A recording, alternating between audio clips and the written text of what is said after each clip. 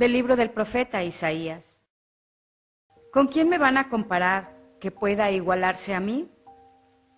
Dice el Dios de Israel. Alcen los ojos a lo alto y díganme, ¿quién ha creado todos aquellos astros?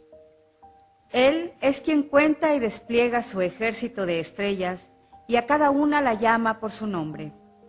Tanta es su omnipotencia y tan grande su vigor, que ninguna de ellas desoye su llamado. ¿Por qué dices tú, Jacob, y lo repites tú, Israel? Mi suerte se le oculta al Señor, y mi causa no le preocupa a mi Dios. ¿Es que no lo has oído? Desde siempre el Señor es Dios, creador aún de los últimos rincones de la tierra.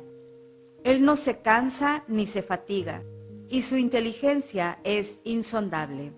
Él da vigor al fatigado, y al que no tiene fuerzas, energía. Hasta los jóvenes se cansan y se rinden. Los más valientes tropiezan y caen. Pero aquellos que ponen su esperanza en el Señor renuevan sus fuerzas. Les nacen alas como de águila, corren y no se cansan, caminan y no se fatigan. Bendice alma mía al Señor. Bendice alma mía al Señor, y todo mi ser a su santo nombre. Bendice alma mía al Señor, y no olvides sus beneficios. Bendice alma mía al Señor. Él perdona todas tus culpas y cura todas tus enfermedades.